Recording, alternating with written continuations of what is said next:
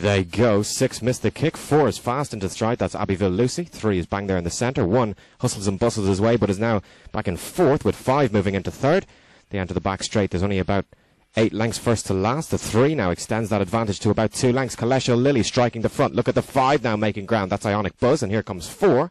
Round the final turns. Three sticks tight to the rails. Sticks smartly with her eyes firmly fixated on the prize. It's three. Killeshil Lily with style points. No issues today for three. Killeshil Lily five for second. Six runs on for third.